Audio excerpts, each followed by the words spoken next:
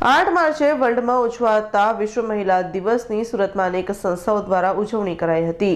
ત્યારે સુરત મનપા દ્વારા પણ દર વર્ષની જેમ આ વર્ષે પણ મહિલા દિવસની ઉજવણીના ભાગરૂપે વિવિધ ક્ષેત્રે નામના મેળવનાર બસો સિત્તેર મહિલાઓનું સન્માન કરાયું હતું, જેમાં એકસો આઠ વર્ષીય દાદી નાથીબેનનું પણ સન્માન કરવામાં આવ્યું હતું. વિવિધ ક્ષેત્રોમાં સિદ્ધિ મેળવનારી મહિલાઓને પ્રોત્સાહન આપવા વિશ્વ મહિલા દિવસ અંતર્ગત સુરત મહાનગરપાલિકા દ્વારા સન્માન સમારોહનું આયોજન કરવામાં આવ્યું હતું, જેમાં શહેરની બસો સિત્તેર મહિલાઓનું સન્માન કરવામાં આવ્યું હતું. આ કાર્યક્રમમાં બાણું વર્ષથી ઉપરની છ મહિલાઓનું પણ સન્માન કરવામાં આવ્યું હતું. પરંતુ શહેરના એકસો આઠ વર્ષના સૌથી મોટી ઉંમરલાયક મહિલા જ કાર્યક્રમમાં આવ્યા હતા, જ્યારે અન્ય વયસ્ક મહિલાઓ ઉંમરના કારણે કાર્યક્રમમાં આવી શક્યા ન હતા. આંતરરાષ્ટ્રીય મહિલા દિવસના ઉજવણીના આ કાર્યક્રમમાં ઉપસ્થિત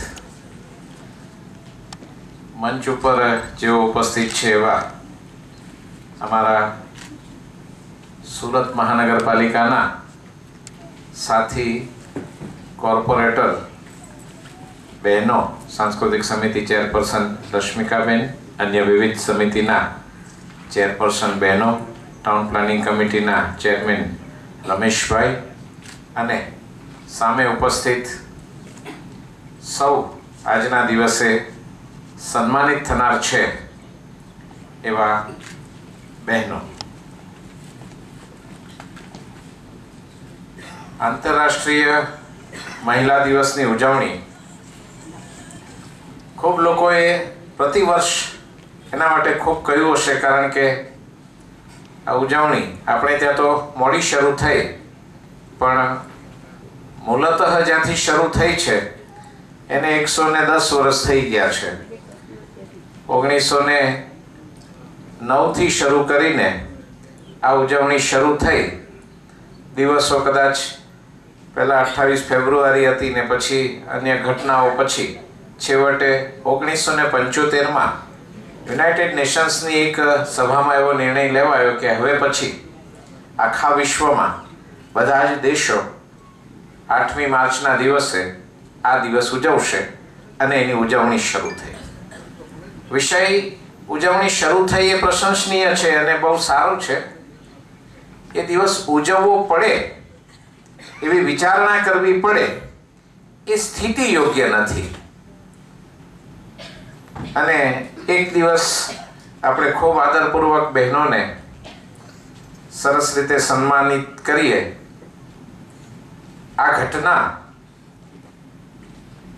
એ વિરલ ઘટના બની રહેવાના બદલે એ રૂટીન બને, એકાદ દિવસને બદલે એ ઘટના ખેંચાઈને ત્રણસો પાસઠ દિવસ twenty four by seven by three sixty five બને, તો પછી આ દિવસો ઉજવવાની જરૂરિયાત પણ ન રહે. અને રોજે રોજ આંતરરાષ્ટ્રીય મહિલા દિવસ કહી શકાય. આંતરરાષ્ટ્રીય મહિલા જીવન કહી શકાય, એવી સ્થિતિનું સર્જન કરી શકાય. પણ સામાન્ય રીતે અમે એવું આળ ભોગવતા હોઈએ છીએ કે મહિલાઓને પરેશાન, પ્રતાડિત વગેરે કોણ કરે? તો પુરુષો કરે. વાત સાવ સાચી છે એવું કેટલા જણા માને છે? મારો બીજો પ્રશ્ન છે. બહેનોને હું હું બહુ હળવો શબ્દ વાપરું છું અને ચોક્કસ શબ્દ વાપરી શકું એમ છું, પણ હું આ તબક્કે પસંદ નહીં કરું. બહેનોને પરેશાન કરવામાં કોઈ બહેનોનો ફાળો હોય છે ખરો કે કેમ? આ જે લોકોના મનમાં હોય એ હાથ ઊંચો કરશો. મારો ત્રીજો પ્રશ્ન છે. બહેનોને પરેશાન કરવામાં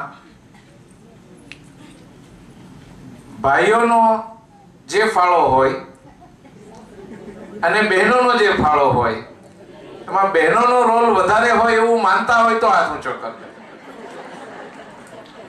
એ બેન દેરાણી હોઈ શકે, જેઠાણી હોઈ શકે, સાસુ હોઈ શકે, બેન હોઈ શકે, પડોશણ હોઈ શકે બોસ હોઈ શકે, કંઈ પણ થઈ શકે. જ્યાં એકસો આઠ વર્ષીય નાથીબેન ચાંદપરાએ જણાવ્યું હતું કે, મારા કામથી કામ રાખ્યું છે, જેથી મને કોઈ પણ દિવસ ટેન્શન કે ડિપ્રેશન આવ્યું નથી. તમે નહીં માનો, પણ છેલ્લા ત્રીસ વર્ષમાં એક પણ વખત હોસ્પિટલ ગઈ નથી.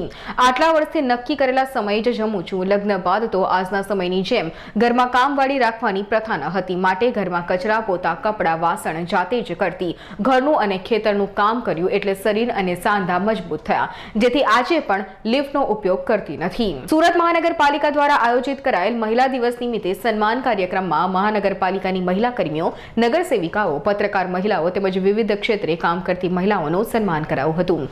Bureau report, Surat.